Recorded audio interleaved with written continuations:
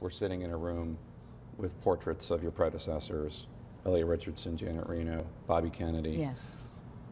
What do you want your legacy to be? I would, I would like, and again, you can never pick your legacy. Right. People are going to look at what at your, the body of work, and things will stand out.